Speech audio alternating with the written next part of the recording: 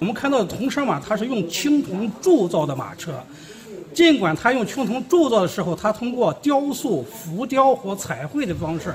把古代马车的结构通过这种就是浮雕或彩绘，都把它结构表现出来了。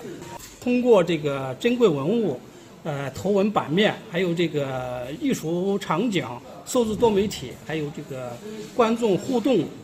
等多种方式，对这个铜车马的这的性质、结构。以及它的驾挽方式，进行了全方位的这个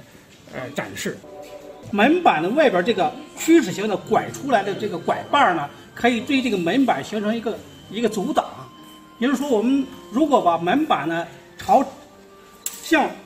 像我们身边这边开的时候，门板是可以打开的。如果门板关成这个样子，如果再朝里边开呢，由于这个合角的这个曲尺形